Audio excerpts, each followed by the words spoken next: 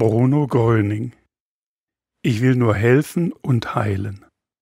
Das Leben Bruno Grönings für Kinder, Jugendliche und Erwachsene.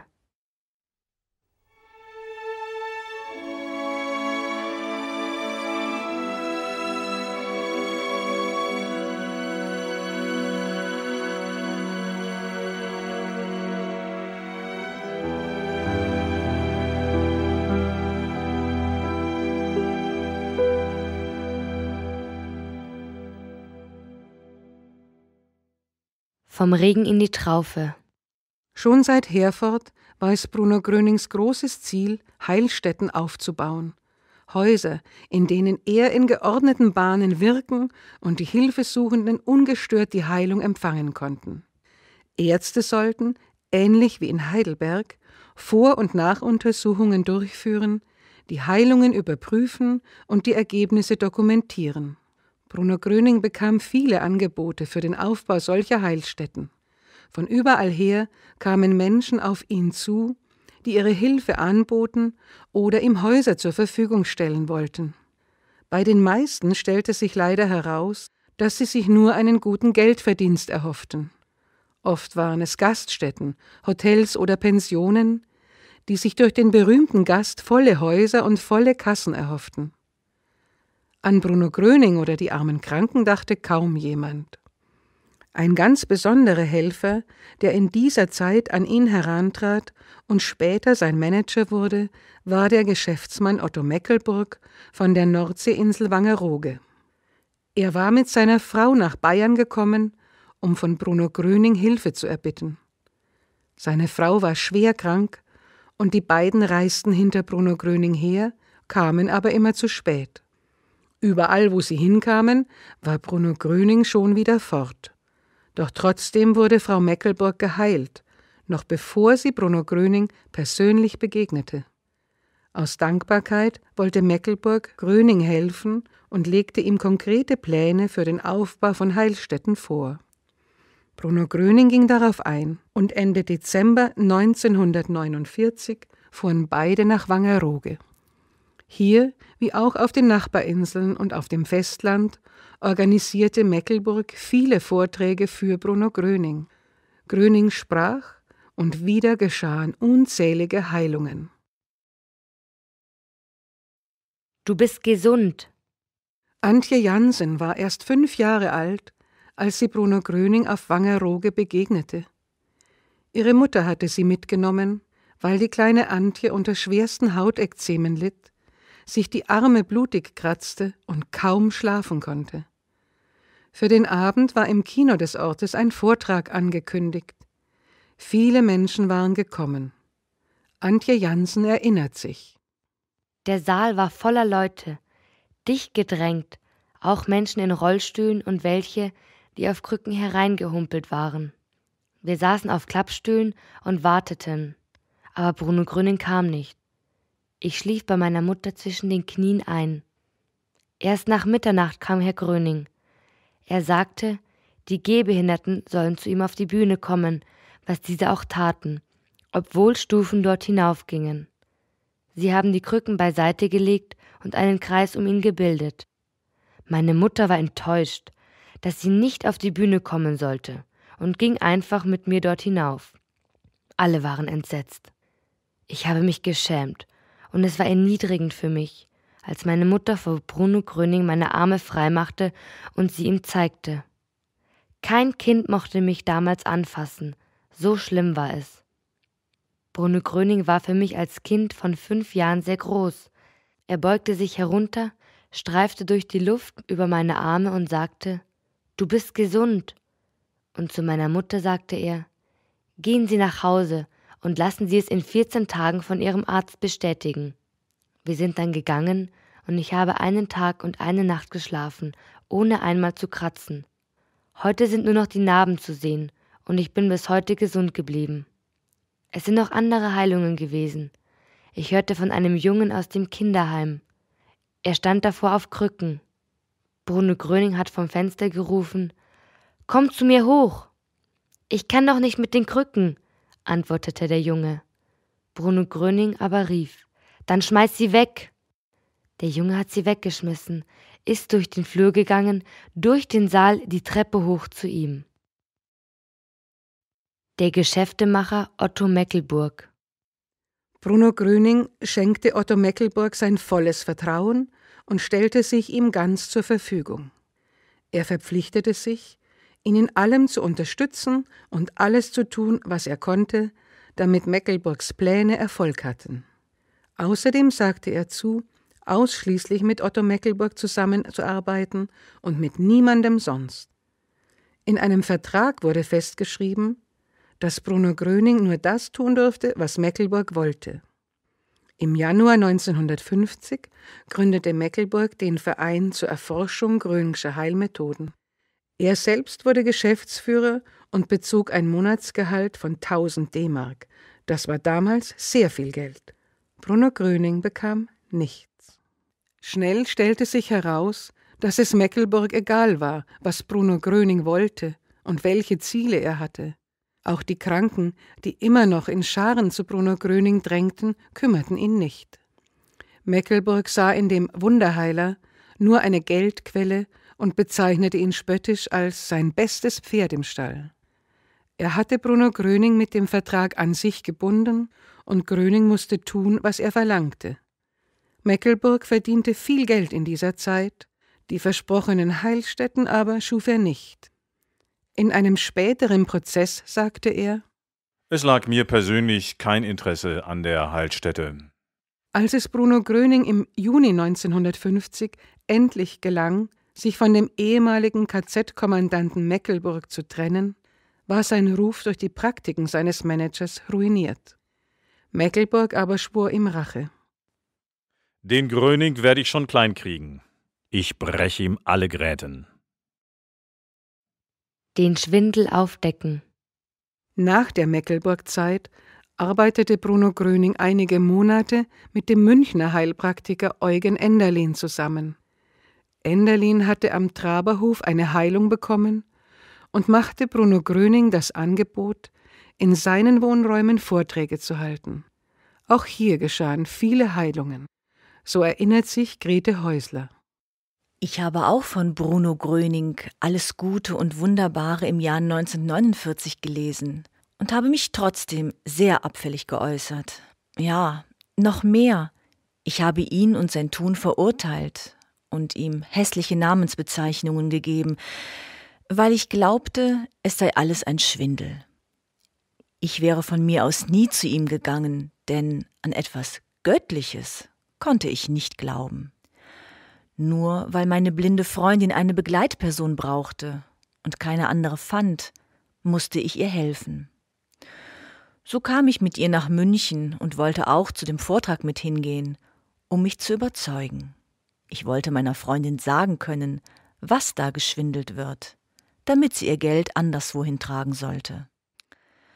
Als ich sehr skeptisch dem Einführungsvortrag von Herrn Enderlin lauschte, war es mir sehr unangenehm, dass er uns aufforderte, still zu beten. Ich konnte ja nicht. Ich glaubte an nichts. Ich glaubte ja auch nicht, dass ich jemals gesund werden könnte. Aber der Aufforderung, an etwas Schönes zu denken, konnte und wollte ich nachkommen. Und als ich an den schönen Wörtersee, den ich am Tag zuvor beim Sonnenaufgang erlebt hatte, dachte, da fing es in meinen Zehen an zu kribbeln. Dieses Kribbeln stieg hoch in den Hals und in den Kopf hinein. Ich bekam Schmerzen im Kopf. Um die Mitte ein Ziehen die Arme entlang bis zu den Fingerspitzen. Schon glaubte ich an Bestrahlungslampen, die man heimlich irgendwo aufgestellt haben musste. Aber ich entdeckte keine im Raum. Es war mir unerklärlich, wie man so etwas empfinden kann ohne eine Spritze bekommen zu haben oder ohne Medikament. Herr Enderlin erklärte uns das dann sehr schön, wie Bruno Gröning der Transformator des Heilstromes und Gott das große Kraftwerk sei. Bruno Gröning war noch gar nicht anwesend. Wie sollte das gehen?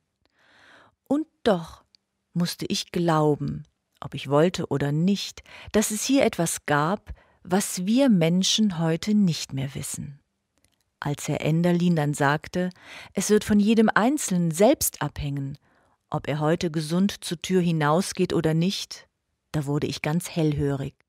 Ich dachte bei mir, hm, das wäre ja nicht schlecht.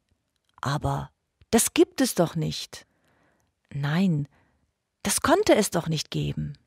Wie sollte mein 15-jähriger Stirnhöhlenkatar, der chronisch vereitert war, einfach verschwinden? Nein. Oder meine kaputten Leberzellen? Oder wie sollte das zugehen, dass ich wieder genug Zucker in meinem Blut haben sollte? Das wäre ja nicht schlecht, wenn das so einfach ginge. Aber ich besann mich. Es muss an der ganzen Geschichte doch etwas Wahres sein, denn sonst hätte ich nicht solche Schmerzen und solches Ziehen in meinem Körper bekommen.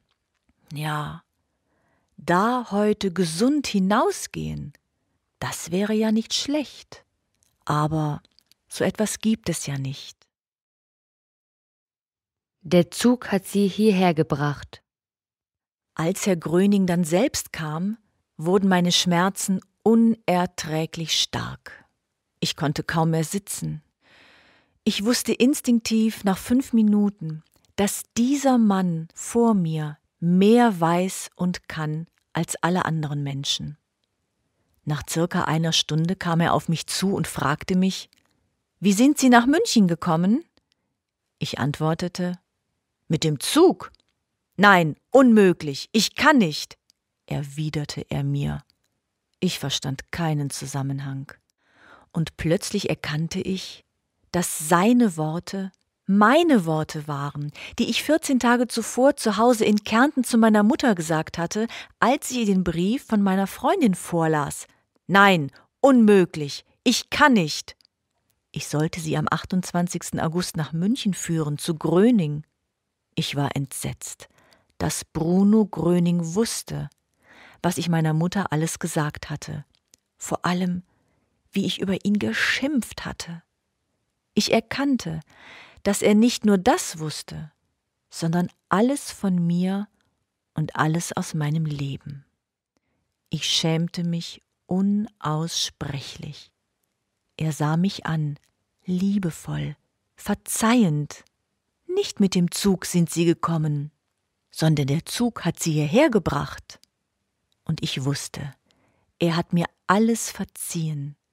Das Wortspiel, der Zug hat sie hierher gebracht, verstand ich erst viel später. Ich wollte ja nicht zu ihm kommen, aber ich durfte kommen. Später stellte sich Bruno Gröning ganz ernst und konzentriert vor uns und sagte Geben Sie mir Ihre Krankheiten und Ihre Sorgen. Sie werden allein nicht fertig damit. Ich trage sie für Sie. Aber geben Sie mir diese freiwillig. Stehlen tue ich nicht. Und wieder wurde mir so eigenartig zumute.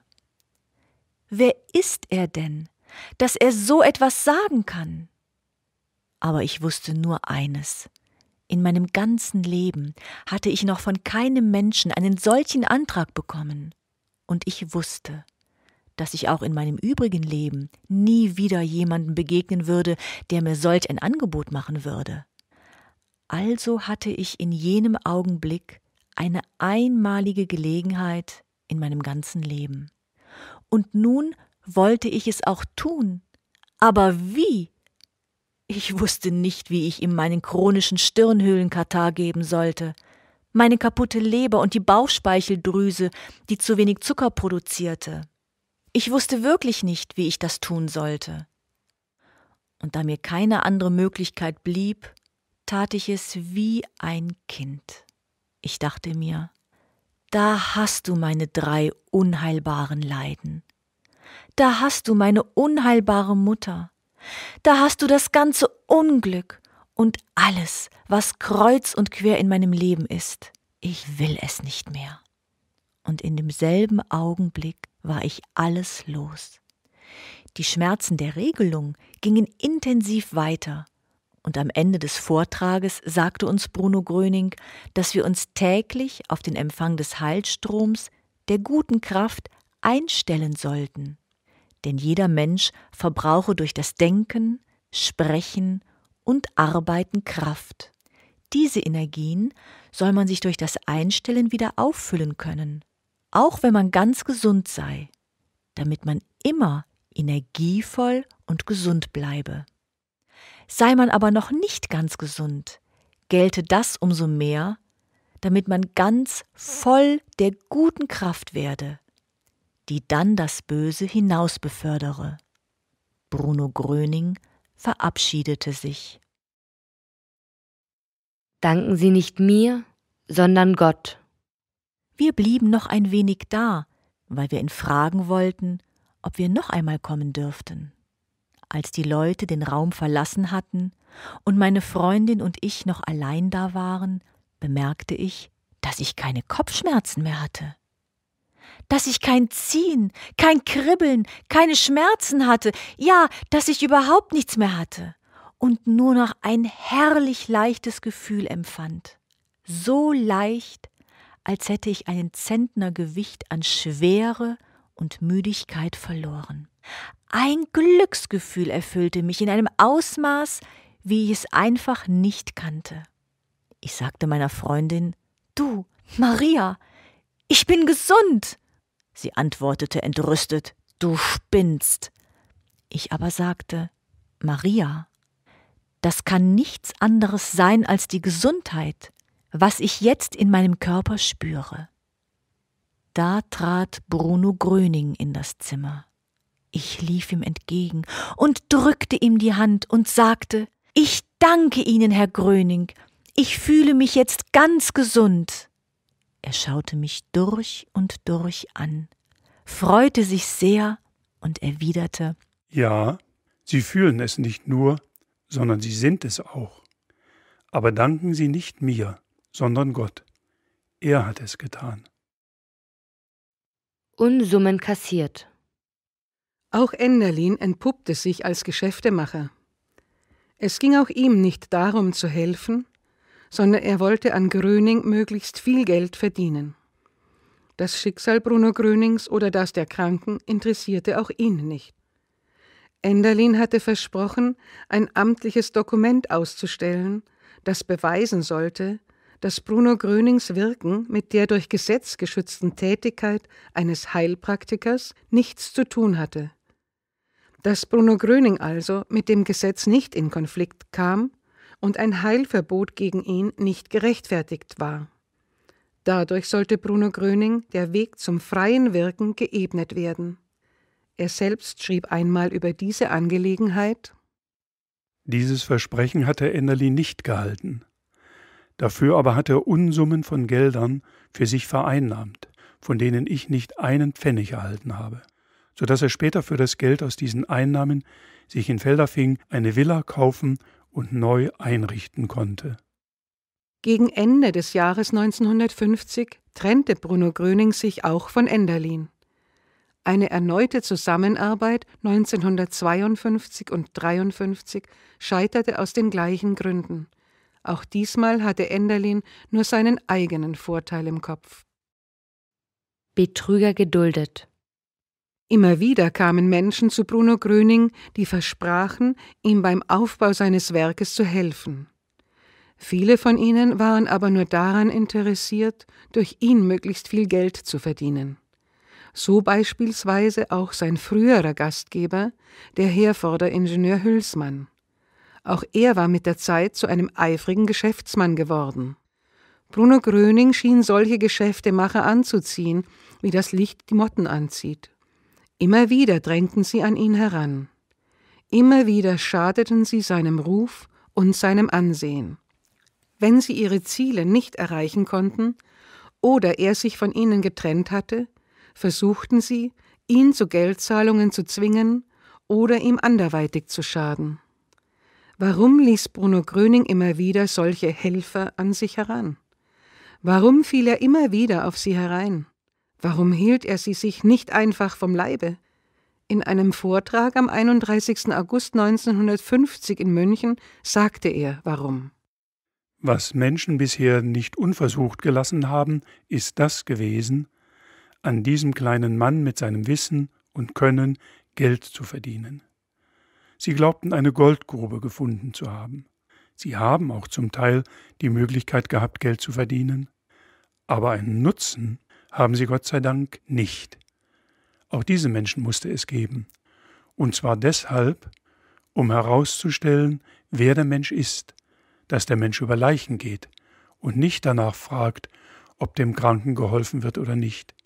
Es gibt Menschen, die über Leichen gehen, die können einen Kranken ruhig liegen sehen. Diese Menschen haben nie danach gefragt, sie haben nichts unversucht gelassen, in meiner Nähe zu sein. Ich weiß, es wird hier und dort die Frage aufgeworfen, ja, wenn der Mann so viel weiß, warum hat er nicht das gewusst, vielleicht weiß er nichts. Ob und wie weit ich etwas weiß, werden Sie nach und nach zu wissen bekommen. Aber dieses musste sein. Dieses Material hat zu diesem Aufbau gefehlt, um für sie alle den Weg frei zu machen. Bruno Gröning hat solche Menschen also gebraucht, um den Weg zu Gott wieder frei zu machen. Er wollte und musste diese Art von skrupellosen Blutsaugern aufdecken, musste sie bloßstellen, damit die Menschen ihr bösartiges Treiben erkennen können. Er musste diesen herzlosen Schurken ein für allemal die Maske vom Gesicht reißen. Es waren ja in der Vergangenheit immer die schönen Worte gewesen, mit denen solche Geschäftemacher ihre Mitmenschen getäuscht und ihre wahren Absichten verschleiert, ihre eigensüchtigen Interessen verdeckt hatten. Immer wieder die schönen Worte Wir wollen nur helfen, aber die böse Tat, die notleidenden Menschen ausgenutzt und über Leichen zum eigenen Reichtum gegangen. Dem hat Bruno Gröning ein Ende gemacht. Er hat diese Menschen an sich herangelassen und ihre Schandtaten aufgedeckt. Als Grete Häusler ihm einmal zum Abschied wünschte, dass er in Zukunft nicht mehr von falschen Mitarbeitern angegangen werden sollte, antwortete er Ganz falsch. Das muss so sein. Ich weiß, was ein Mensch in sich trägt.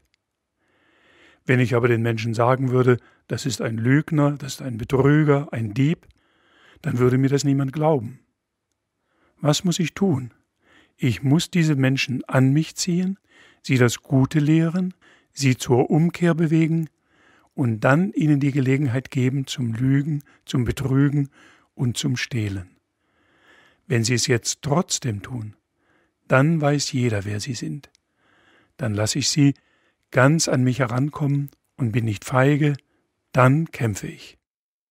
Die Menschheit kann in Zukunft frei sein von dieser Sorte Geschäftemachern und muss sich von ihren schönen Worten nicht mehr blenden und täuschen lassen.